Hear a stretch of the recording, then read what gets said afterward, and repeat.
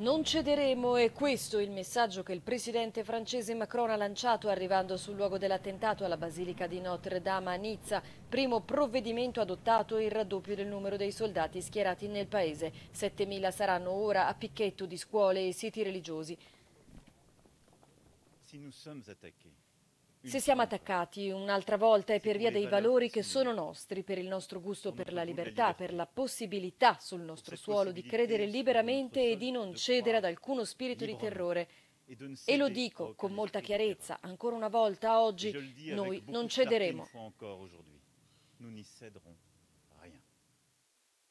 Il Ministero degli Esteri dell'Arabia Saudita ha manifestato la propria vicinanza via Twitter. Porgiamo le nostre condoglianze la nostra vicinanza alle famiglie delle vittime, dicono, e intanto in Arabia Saudita si è verificato un altro episodio di terrorismo con l'attacco a una guardia al consolato francese di Jeddah.